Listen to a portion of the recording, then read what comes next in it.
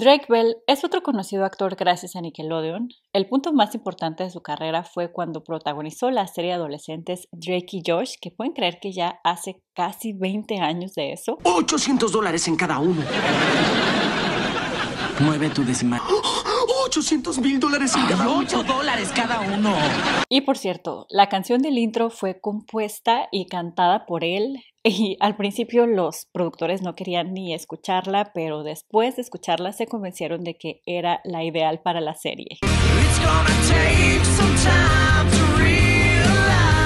Que de solo escucharla me transporta al sillón de mi antigua casa donde amaba ver el programa. Mucha nostalgia y sé que no soy la única porque el programa fue y sigue siendo muy exitoso, ya está considerado un clásico. Desafortunadamente, Drake Bell o Drake Campana, como una vez bromeó que quería que lo llamaran y hasta bromeó con que se había convertido en ciudadano mexicano, no ha sido exento de tener una vida muy controversial de tener acusaciones muy graves y hasta estar a punto de ir a la cárcel. Así que en este video repasaremos su vida, cómo es una persona que se ha equivocado muchísimo y creo que en gran parte gracias a la explotación que sufrió en Hollywood y en sí un caso más de una persona que idealizábamos de pequeños, que tiene una vida que seguramente no desearíamos para nosotros. Muchas personas me pidieron que hiciera este video ya que creían que Hollywood lo había desaparecido ya que había hecho fuertes declaraciones supuestamente en contra de la industria en el podcast de Creativo.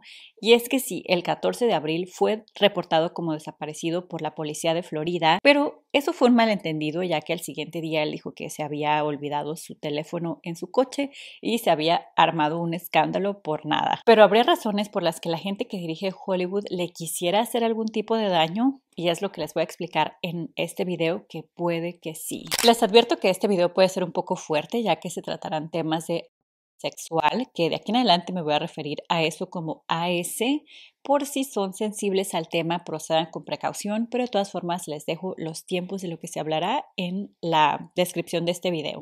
Jared Drake Bell nació el 27 de junio de 1986 en Newport, California, una ciudad como a una hora de Los Ángeles, y él en este momento tiene 36 años. Sus padres se divorciaron cuando él tenía 5 años y una de las cosas que lo unía más a su papá era ver programas de comedia en la televisión, así que su papá le sugirió que tal vez pudiera dedicarse a ser actor y comediante. Afortunadamente, entre comillas, vivía cerca de Los Ángeles, así que podía ir a muchos castings y empezó trabajando en varios comerciales. El primerito que hizo fue para la marca de Whirlpool y después hizo uno muy famoso que era de Pokémon. También apareció en algunas películas con roles pequeños y a la edad de 8 años, en el 94, fue la primera vez que apareció en televisión con la serie Home Improvement. Thank you for swing set, Mr.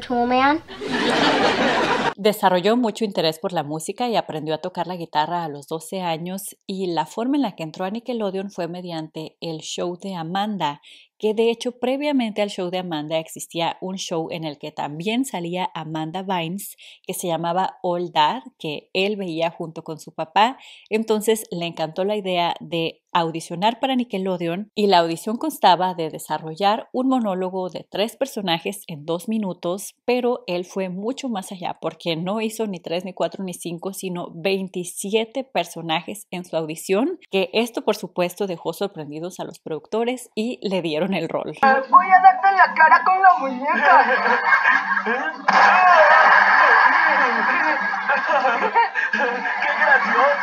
El creador del show de Amanda y posteriormente también de Drake y Josh es Dan Schneider, que es considerado pervertido por todo el público en general, pero de otro pervertido del que casi no se habla, que también trabajó en el show de Amanda y era un productor de casting y director también de programas de Nickelodeon, es Brian Peck. Es igual, si no es que peor que el mismo Snyder, él fue a la cárcel en el 2004 por AS a un menor y estuvo en la cárcel por 16 meses, que saben qué es lo peor, que justo después de salir de la cárcel de los cargos que más adelante les voy a medio explicar de qué se trataron, lo reciben Nickelodeon con los brazos abiertos para trabajar otra vez con niños adolescentes y se fue a trabajar a la serie de Zack y Cody. Y la identidad del menor que sufrió el AS por parte de este persona tan desagradable no fue revelada, pero hay grandes sospechas de que se trata de Drake Bell. De hecho, esta página de internet pone directamente en la bi biografía de este individuo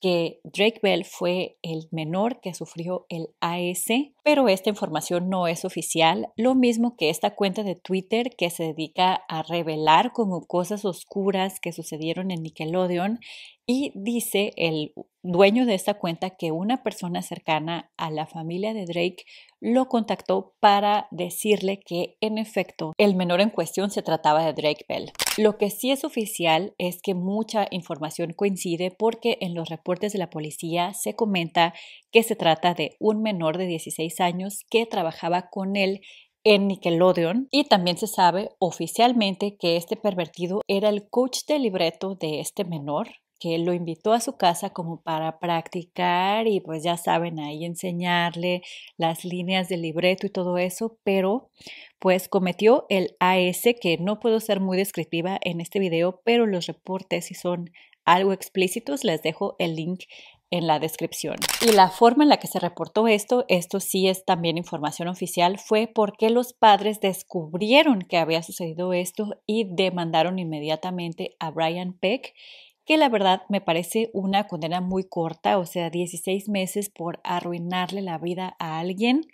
Deberían de verdad de imponer sanciones así como súper exorbitantes para que las personas de verdad tengan grandes consecuencias y ni siquiera les cruce por la cabeza. En el podcast con Roberto dijo algunas cosas que me hacen pensar que sí se pudiera tratar de él, ya que se le ve muy conmovido al decir que le pasaron cosas muy traumáticas en el show de Amanda de las que nunca ha hablado. There's been a lot of stuff in my career where I, you know, I feel like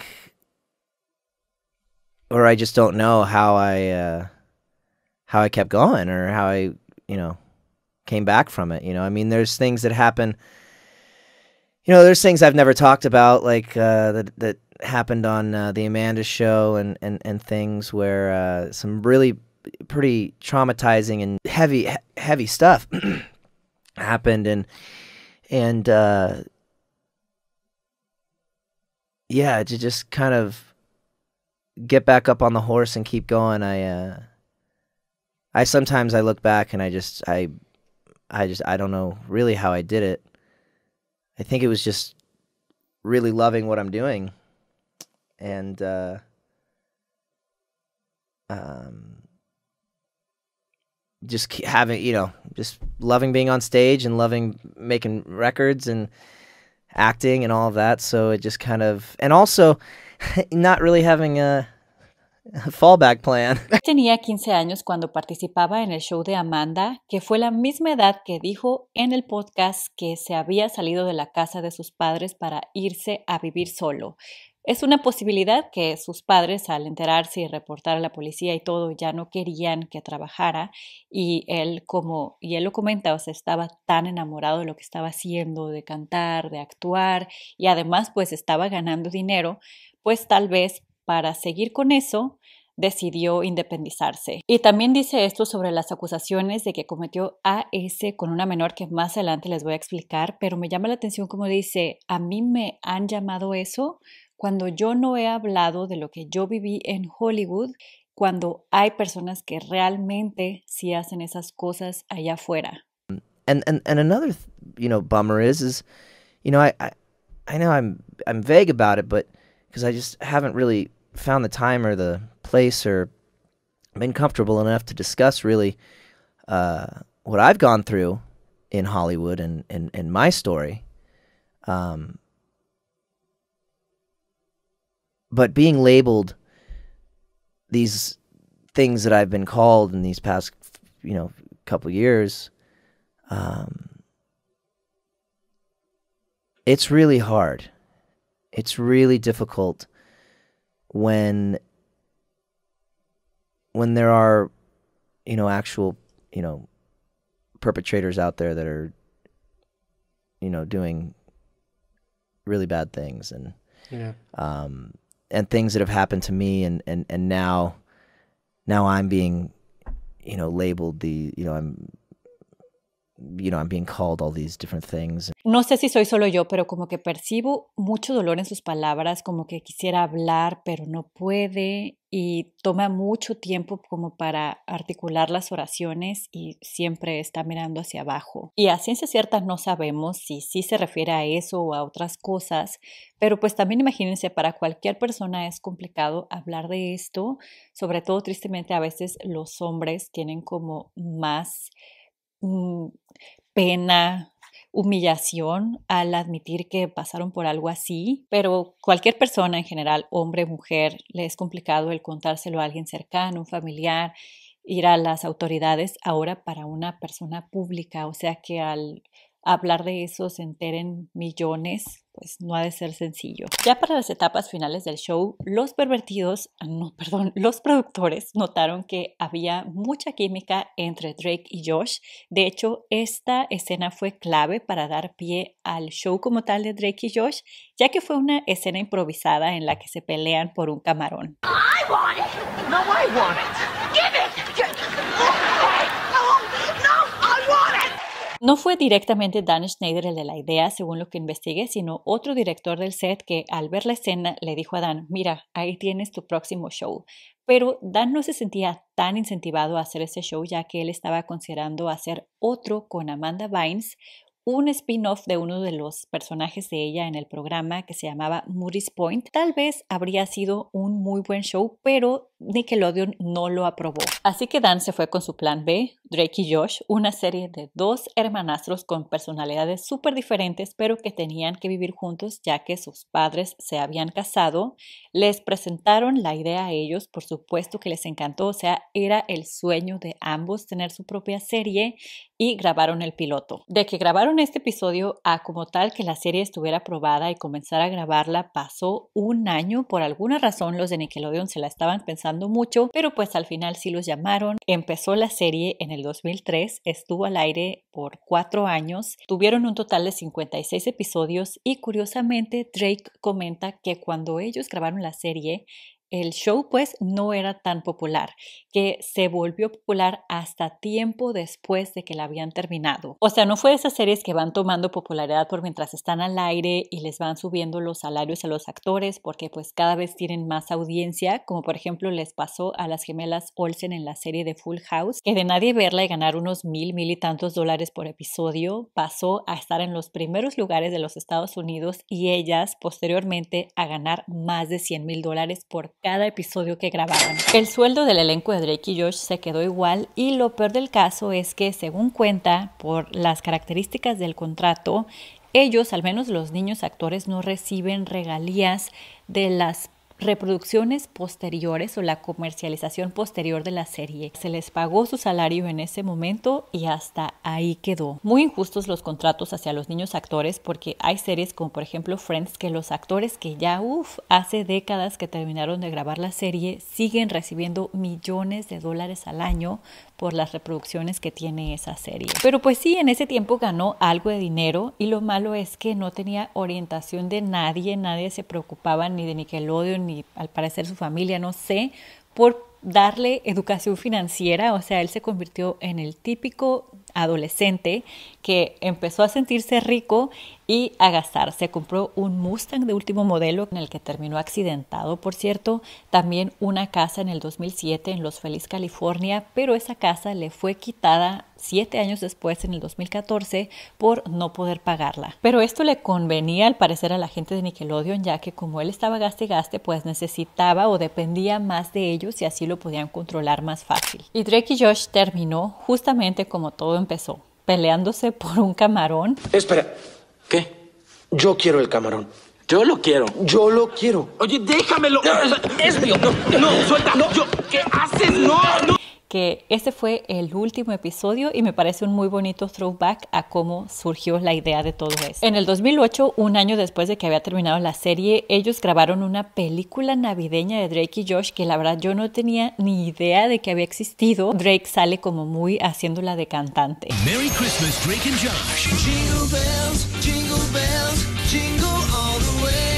Esa parte sí era verdad de la serie. Él quería triunfar en la música. De hecho, en la vida real lanzó su primer disco en el 2005, el segundo en el 2006 y su carrera se iba orientando cada vez más hacia allá. Y curiosamente sus álbumes fueron más exitosos en México que en el mismo Estados Unidos. Pero eso no significa que en Estados Unidos fue un fracaso. Ahí le estaba yendo más o menos bien, aparecía en los primeros top 100 y eso. Y además, en el 2010, cuando se estrena la serie de iCarly, que de hecho es otra serie creada por Dan Schneider, él canta la canción del intro junto a Miranda Cosgrove. Tuvo algunas pequeñas apariciones en ese programa y en otros programas de televisión igual, pero él estaba apostando más a la música. En el 2014, de hecho, da un concierto, el concierto EXA FM en la Ciudad de México, y le fue muy bien, fueron más de 50 mil personas a verlo. Como recibía tanto apoyo en México, era algo que por supuesto él disfrutaba, así que visitaba constantemente, aprendió un poco de español y en el 2019 lanza un álbum en este idioma con ritmos latinos llamado Diosa. Es el momento Obviamente que tenía que promocionarlo con la gente de México, la audiencia latina en general, y no le veo nada de malo. Empezó a ir a programas de televisión como hoy, también a dar entrevistas a medios, hasta para Ventaneando dio una entrevista una vez. También empezó a crear mucho contenido en su Instagram de que según le gustaba más México y que Estados Unidos ya no, así como memes y eso. Y fue cuando hizo lo de la INE falsa que les comentaba al inicio del video, que según se había hecho ciudadano mexicano y que vivía en Tultitlán, su cara en un billete de 500 pesos, se cambió el nombre en un tweet, pero pues todo era broma. De aquí en adelante mi contenido en Twitter nada más va a ser en español. La verdad es que él nunca vivió en México. Cuando llegaba estaba en un hotel y se regresaba a su casa en California, pero sí dijo varias veces que le gustaría vivir y lo sigue diciendo. Hasta aquí las cosas iban más o menos bien con Drake Bell, o sea, no era el super cantante de los número uno de los billboards, pero pues ahí la llevaba con su carrera musical. El problema es que todo cambió a partir del 2020 cuando una exnovia, Melissa Lingafeld, quien estuvo con él del 2006 al 2009, ella tenía 16 años y él 21 durante esa relación, lo acusó de haberla golpeado y haber sido violento en general, tanto físicamente como verbalmente. En este TikTok que después ella borró, pero hubo personas que lo repostearon, entonces por eso lo pude encontrar. Drake negó todo, dijo que simplemente no habían terminado bien, pero que él nunca había sido violento. Ella se defendió diciendo que tenía muchas pruebas y muchas fotos y subió esta foto que no sé, hay personas que no se les hacen moretones igual que a otras y todo, pero pues la verdad yo no sé dónde está el golpe en esta foto. También compartió screenshots de otras dos ex que supuestamente le enviaron mensajes privados en Instagram contándoles su experiencia, que también habían sufrido violencia cuando fueron novias de él y que agradecían que tuviera la valentía de alzar la voz. Gracias a esto otras dos chicas se animaron a hablar. Ellas en el 2014 subieron esta foto a su Twitter y recibieron mensajes del mismísimo Drake supuestamente donde les dice me encantaría estar en medio de ustedes dos. Ella tenía 25 años en ese entonces, ellas se ven pues menores de edad, o sea, creo que es incorrecto que les haya enviado ese mensaje, también les pide su número, pero al parecer no pasó de ahí. Cabe la pena mencionar, ya que les estoy presentando toda la información para que ustedes saquen sus propias conclusiones, esto no está confirmado porque es parte del post que hizo la cuenta de Twitter que les había mencionado previamente, que ese familiar de Drake que dice que sí, él fue víctima de AS, también dice que Melissa Lingafeld fue pagada por Dan Schneider y su equipo para destruir la credibilidad de Drake Bell. Lo mismo más o menos que le pudieron haber hecho a Amanda Bynes, que Amanda puede decir ahorita lo que sea y pues no se le puede creer, pero tomen en cuenta que si esto es verdad, viene de un familiar de Drake que por supuesto va a tomar el lado de su familiar, pero esta es toda la información, además que ni siquiera se puede confiar ciegamente en que lo que dicen esos tweets sea verdad. Pero lo peor para Drake Bell estaba a punto de suceder. En el 2018 es acusado de AS en contra de una menor el caso duró en investigación tres años. Fue hasta el 2021 que se llevó a cabo el juicio y esto fue completamente lo que destruyó toda la el apoyo de la gente de los Estados Unidos el apoyo de muchos fans. También Josh Peck, quien se suponía que era su amigo, se casó y no lo invitó a la boda y los medios tergiversaron todos estos chistes que él hacía de que era mexicano y eso que pues sí, o sea, era pura publicidad para que la gente de México comprara su disco. Ellos lo tomaron literal y dijeron, Drake Bell se muda a México para huir de la justicia, de las acusaciones que tiene en su contra, cuando esto pues la verdad es que pues no era cierto. Lo que sí hizo Drake como para limpiar su imagen, imagino yo, es que reveló un matrimonio que tenía en secreto y un hijo del que nadie se había enterado. De repente poco antes del juicio pues revela a esta familia y llevan a su bebé a Disneylandia. Él va vestido así bien exageradamente con pantalones de Mickey Mouse, como es mi impresión que quería vender un una imagen de soy padre de familia, soy un buen padre, un buen esposo, y él tenía todo el derecho a no hacer pública o hacer pública su relación, por supuesto, y su familia, pero pues sí da un poco de sospechas de que muy poco antes del juicio él quería mostrar este lado de su vida. También empezó a hacer mucha campaña para que la gente le comprara un saludo en Cameo, que es esta página donde se registran actores así muy famosos, artistas y así, o hasta influencers, para que la gente les compre unos 60 segundos de su tiempo y les manden un saludo personalizado, pero él cobraba 150 dólares por cada saludo de los precios más caros de la aplicación. No olvides que en Cameo.com puedes pedir un mensaje especial mío o una llamada de Zoom conmigo. Puede ser un gran regalo de Navidad.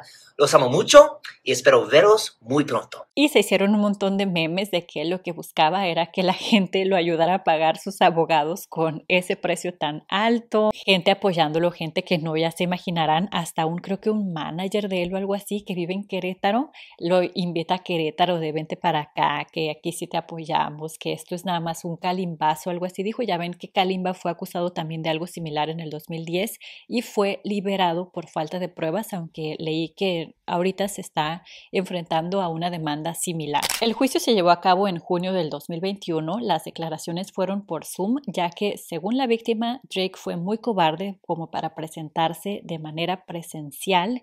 Y primero les voy a contar la versión de ella para pasar a las otras lo que se ha negado y así. Ella dice que lo conoció cuando tenía 12 años por una amiga en común de su tía. Su tía la lleva a conocerlo, que al parecer la tía como que cuidaba mucho de ella y sus padres trabajaban, como que los padres no están en escena, pero sí tiene papás. This portion of my statement explains how he started grooming me when I was 12 years old.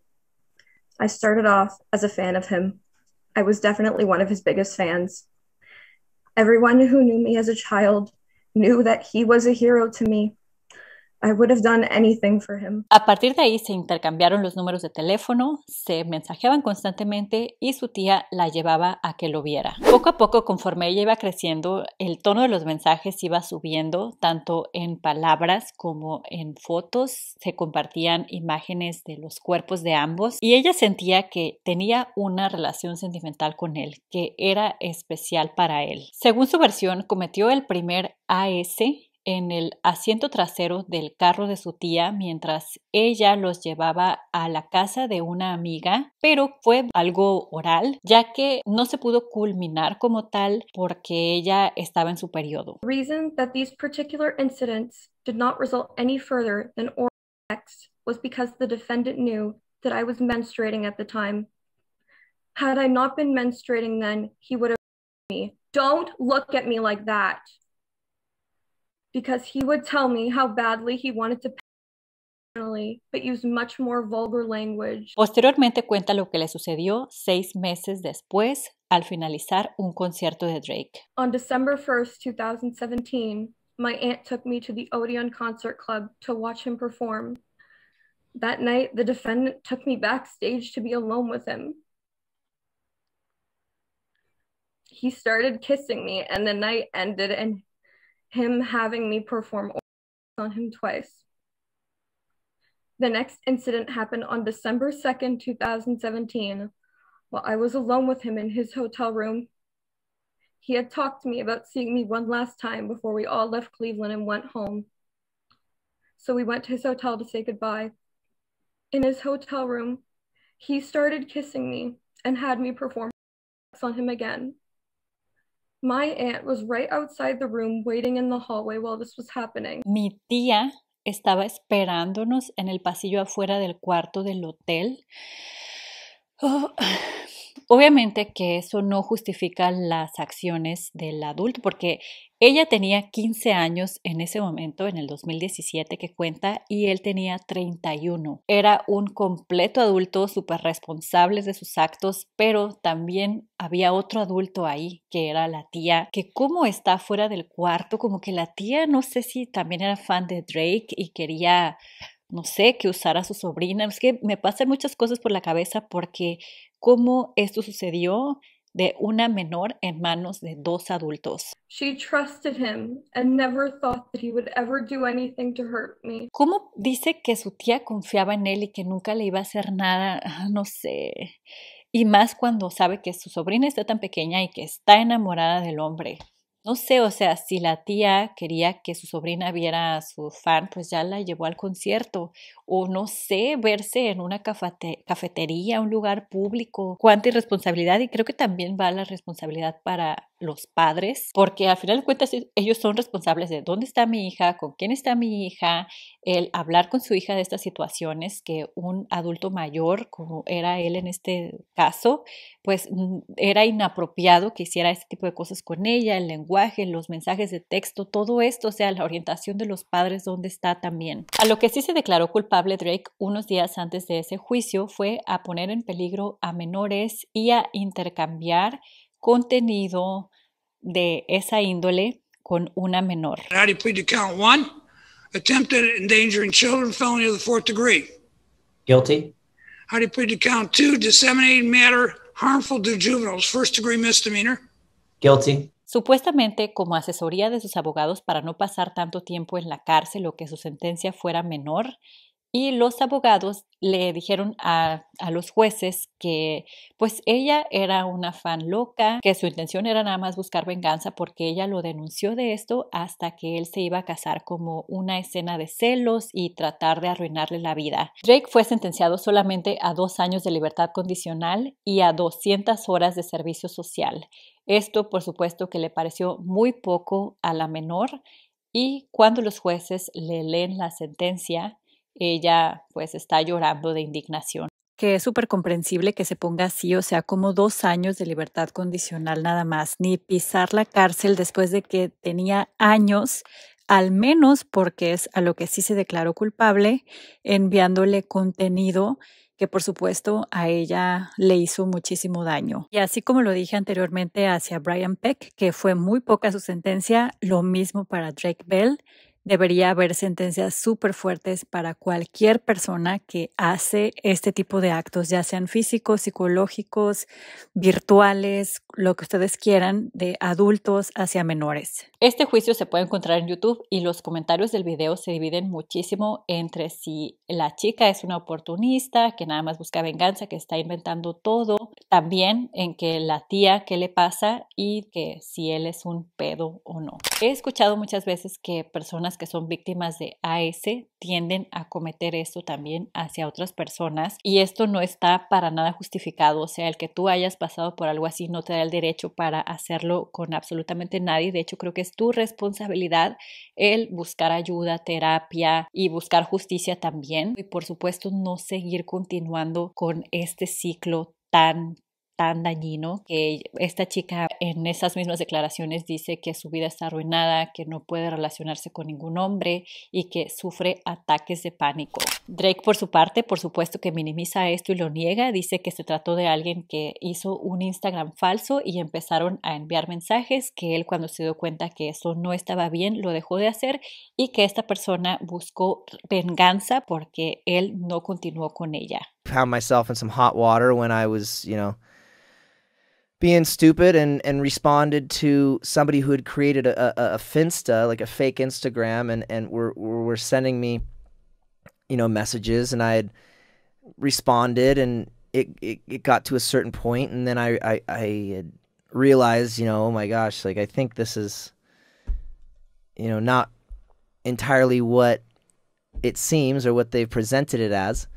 And i uh I stopped communicating with them because I found out, oh, okay, I think this person's not who they're what you know, this isn't the case. and I, I, I stopped communicating. That sent that person into a, a total tailspin. They they ended up, um, you know, going after my wife and going after, go, you know, telling me, threatening me, and doing all these things, and um, so I'd gotten, I had ended up getting, getting in a little bit of trouble uh, because of these, these text messages. No soy experta en lenguaje corporal ni nada, pero sí me parece muy diferente el lenguaje corporal de los momentos que les mostré donde él reflexionaba sobre lo que había vivido en Hollywood y estos donde está como tratando de explicar lo que sucedió con esa persona que le hizo tanto daño. O sea, él se está diciendo como a sí mismo que es una víctima de ella, pero no le puedo creer al 100% lo que está diciendo en mi opinión, pero este video es para que cada quien haga sus conclusiones. En este momento su esposa le está pidiendo el divorcio, dice que es irreconciliable por lo que están pasando y desafortunadamente, aunque se veían como una pareja más o menos bien, ella lo apoyó en todo este proceso del juicio. También tenían un podcast juntos que se ven así como una familia algo feliz porque en el podcast también ponían a su bebé y todo, pero tampoco es que Drake haya sido el padre pues más ejemplar del mundo porque hay videos de él donde lo captaron drogándose con un globo, es una droga que se consume así y su hijo, su bebé se encuentra en el asiento trasero del carro donde estaba. Ahora Drake está esperando que la gente lo apoye con su último disco, lo acaba de lanzar hace una semana y en las canciones del álbum dice que va a revelar muchos mensajes ocultos de lo que vivió en Hollywood. Y si prestamos atención, salen una serie de postres muy raros que los mueven en el video de una forma muy rara, como sugerente, y dice que este es el postre de Hollywood y así. Y me hace recordar a la canción Zombie de Justin Bieber, que yo pensaba que se la había dedicado a Hailey, pero en realidad muchos de ustedes me dijeron que se trataba de exponer toda la red de pedo que existe en Hollywood y tiene mucha relación con este video de Drake. Además que también en este video que la canción se llama Going Away salen unos tipos obesos, medio desnudos, que díganme a quién les recuerda. Wow. Y imagino que ni Justin ni Drake pueden hablar muy abiertamente, por supuesto, de lo que les sucedió, porque supone en riesgo sus carreras, si no es que hasta sus vidas.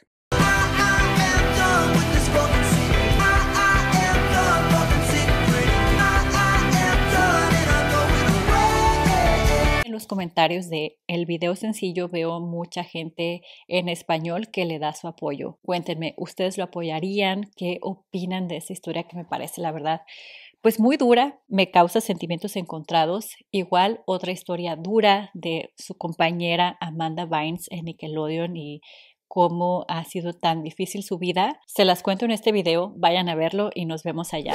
Gracias a María Victoria Donaire por ser parte de los Mackie Friends VIP, también gracias al resto de miembros, les agradezco muchísimo su apoyo, les dejo la información si es que quieren apoyar al canal de esta forma aquí abajo, pero cualquier forma que quieran o puedan apoyar a este canal cuenta y cuenta muchísimo. Y nos vemos muy pronto en uno próximo. Adiós.